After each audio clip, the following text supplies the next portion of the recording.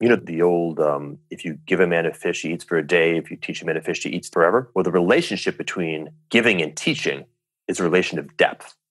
That if I give you the teaching, I'm giving you something that is deeper than giving you the consequence of the practice. If I if I teach you how to fish, I'm doing something that is deeper than merely giving you a fish. Well, you can go deeper still. What I could do is I could potentially teach you how to invent fishing. And I can go deeper still. So the recognition is that when you're dealing with the kind of problem that we're dealing with, you have to get very good at being able to go deep because you're always going to be operating on the basis of something.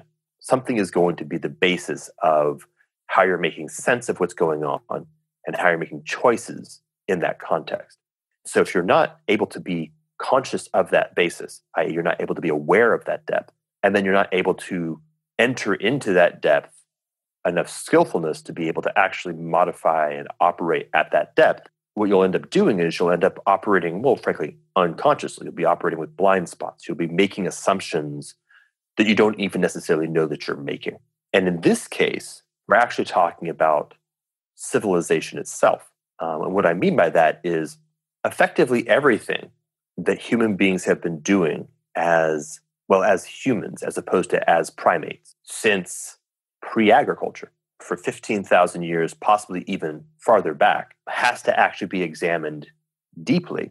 And a lot of the details about particular things that were laid down, choices that were made possibly 75,000 years ago, have to actually be made, brought to light, examined closely as to what those choices actually imply, and then you know maybe unwound, maybe new things designed to be laid down at that level of depth, or possibly kind of brushed off and clarified and put back into a fabric that then becomes the basis of the kind of culture and civilization that we need. Can you give us an example?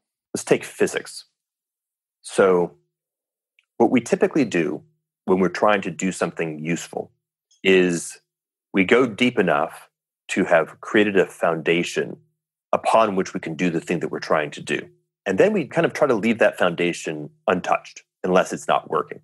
And so this is the entire essence of what Thomas Kuhn was exploring when he was looking at the structure of scientific revolutions. This is the guy who coined the concepts of scientific paradigms. Is that a scientific paradigm is a, a whole bunch of different kinds of fundamental assumptions, many of which ultimately become unconscious, meaning that we don't even know that we've made them, and are the basis upon which we then go about doing science. So, if you assume, for example, that space and time are real and objective, independent of the things that are in them. Right? This is the Newtonian model. Right? The Newtonian model has an assumption that you can talk about something called space and you can talk about something called time. Even if there is nothing else in the universe, there is still space and time.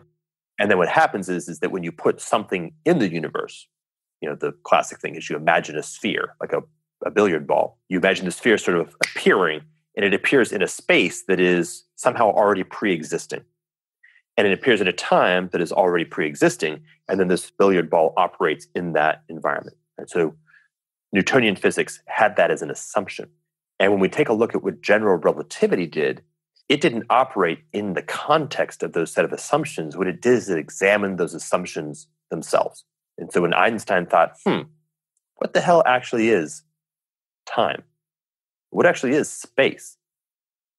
He brought into consciousness, he brought into conscious contemplation the nature of the assumptions of the foundations of the physics he was operating in. He then redesigned, he reconsidered those assumptions into a new concept, which is now the space time manifold, and where you can't actually say space and time without also already including mass. Now, again, this is way outside the context of five year olds, but the idea is that we're always operating on the basis of a whole set of unconscious assumptions that give us the tools that we need to have to then think and do at the higher level. Well, what Deep Code has done is Deep Code has said, okay, let's notice that quite often a lot of things that are challenging now are challenging because of the assumptions, of the frameworks and the unconscious expectations that we're operating under. Let's go deeper. And let's just keep going deeper until we get to something that is, in fact, deep enough for constructing an actual comprehensive civilization.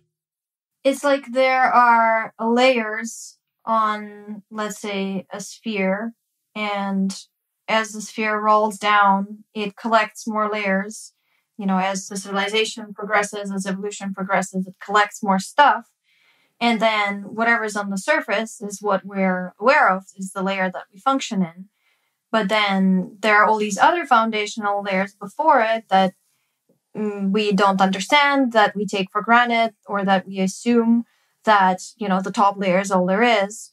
And what you're saying is that we have to dig down deeper to understand what all this stuff rests on because the stuff that is on the outside right now is no longer sustainable for itself. It's going to collapse onto itself. You've got me thinking about a few things here that are really interesting. I've never thought of the concept of what is space and time without matter in it. Like, what is an empty grid?